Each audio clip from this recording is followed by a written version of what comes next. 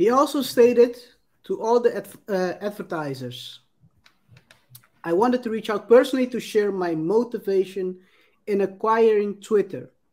There has been much speculations about why I bought Twitter and what I think about advertising. Most of these have most of it has been wrong. The reason I acquired Twitter is because it is important for the future of civilization to have a common digital town square where a wide range of beliefs can be debated in a healthy manner without resorting to violence, which we already saw yesterday happening in California. Yeah. It's not. There is currently a great danger that social media will splinter into far right and far right wing and a far left wing echo chambers that generate more hate and divide and divide our society. In the relentlessness uh, pursuit of clicks of much uh, much of traditional media has fueled and catered to uh, those polarized extremes as they believe that this this is what brings in the money but in doing so the opportunity of dialogue is lost do you agree with this part of his statement Mm, let's start with the first part which are you referring to the last paragraph? the second paragraph Okay. do you agree with the fact that uh, No. there is a splinter in a left wing and a right wing uh, echo chamber within social media That I do agree with. okay Uh, I don't think that the reason why he acquired Twitter was because he he, found it important to the future of civilization. That uh, sounds like a bunch of uh, PR uh, PR to me. Let, let, let's put it this way. Do you think this has been uh, checked by his legal team? Yes, his statement? Okay. What? Or at don't least forget his, at least his PR team. don't forget by the way that half civilization will be elon musk's kids by uh, within 30 30 years. If he keeps going like he's going, if yeah, he keeps going like this yeah and, and and do you also agree on the on the third paragraph that the, the pursuit of clips uh, Yes, clicks have fueled that um, definitely.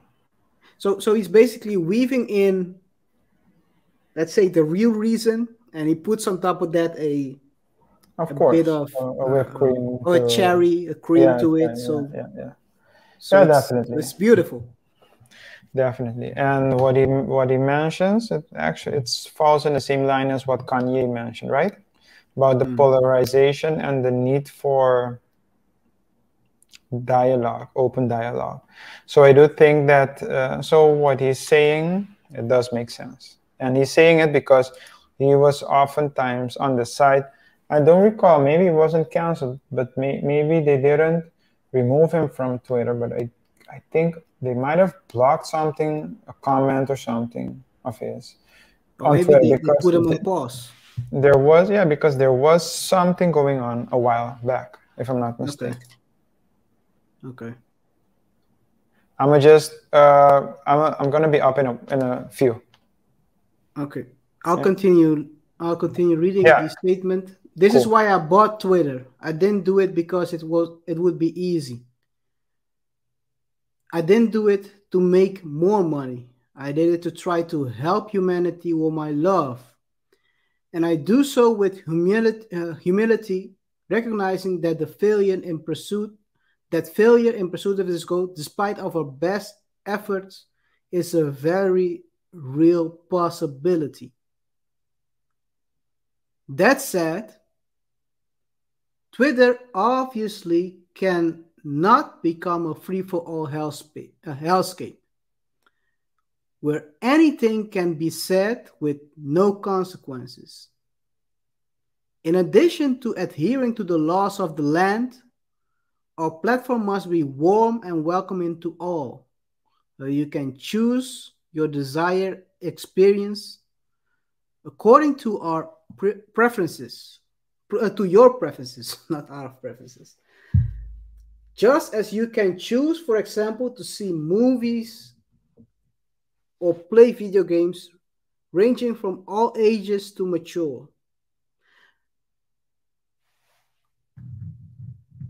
He closes it out with I also very much believe that advertising, when done right, can delight, entertain, and inform you. It can show you a service or product or medical treatment that you never knew existed, but is for you. For this to be true, it is essential to show Twitter users advertising that is relevant as, as relevant as possible to their needs. Low relevancy ads are spam, but highly relevant ads are actually content. He closes it out with fundamentally, Twitter aspires to be the most respected advertising platform in the world that strengthens your brand and grows your enterprise. To everyone who has partnered with us, I thank you. Let us build something extraordinary together. So if I look at the second part or the, the second paragraph of this part of his statement, is basically already saying what he's re restating what he already said, which is it's not going to be a free for all. There will be rules. It's not going to be people posting whatever they want to, whenever they want to.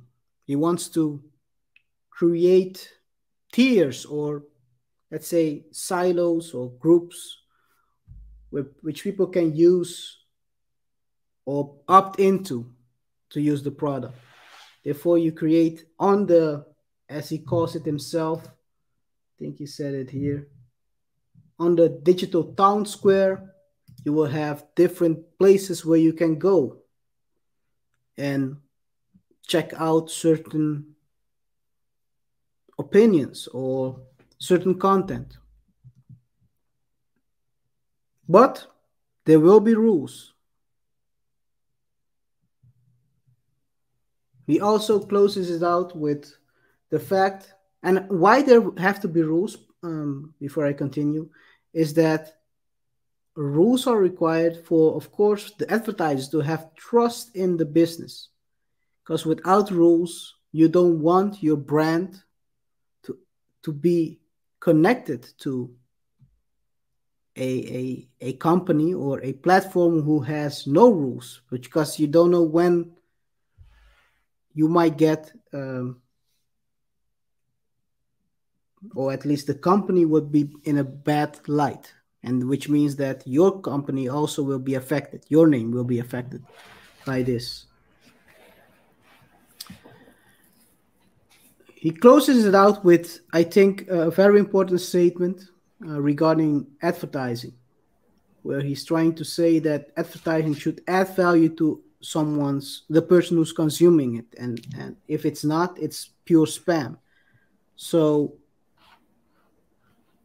you can expect that to be one of the things he will focus on. So he will focus on creating the the the square town square where everyone is, is, is accepted, where there is open dialogue, where you can find whatever you need on the town square or whatever uh, ideas you align with. And also where the ads are of added value and not pure random. And he's already telling you what what it is, what Twitter will be. Twitter aspires, so this is his vision for Twitter, aspires to be the most respected advertising platform in the world that strengthens your brand and grows your enterprise. That's the goal. That's his goal for his partners, the, the advertisers. I see RJ is also back. Yes. The advertisers. So that's that's the part of his statement.